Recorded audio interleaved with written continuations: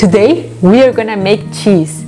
Making ricotta or queso fresco at home is actually very easy. You can control how salty you want and of course it's super fresh every time. And it's easy and simple. It just needs few ingredients. You just need a gallon of milk, salt, and an acid element. This can be lemon, lime juice, or vinegar. Today, I'm gonna use vinegar. But you can even substitute all of these with a rennet tablet.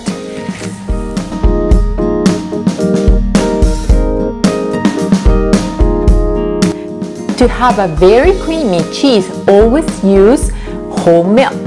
If you even want it creamier, try to add one cup of cream. Start your cheese by warming up the milk to it reaches 150 degrees. Some people like to warm it up even a little more until it reaches 190.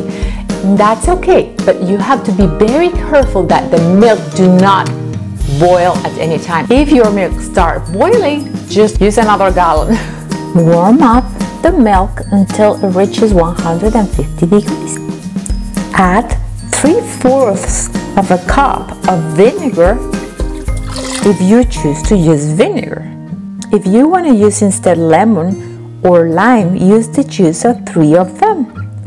After you add the lemon, lime, or vinegar like I did, let the milk set or coagulate for around one hour.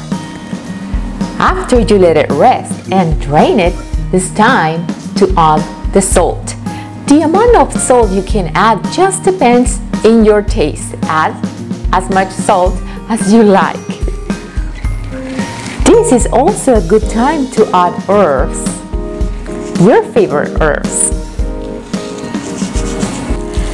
Now we are gonna mix it well and you can see super creamy.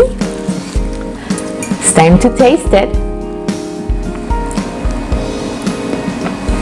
Perfect. And there you go. A very easy, healthy, homemade cheese with few ingredients. I hope you find useful this video and if you did, as usual, please give it a like. And I hope to see you guys here next time in Cooking with Hilda.